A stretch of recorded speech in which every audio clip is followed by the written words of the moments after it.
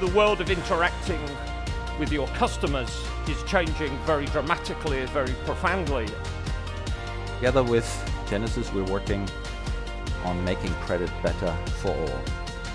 Obviously, none of this would be possible really if we wouldn't have a good partner to enable us to communicate um, efficiently with our customers. Consumers today are starting to personalize almost everything they do in their life.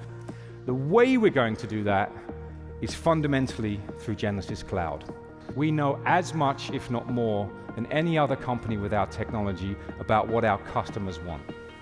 And I put it to you that the next moment, the next era for CX is really about personalization. This is our moment to do it together. This is our customers' moment. Let's make it count together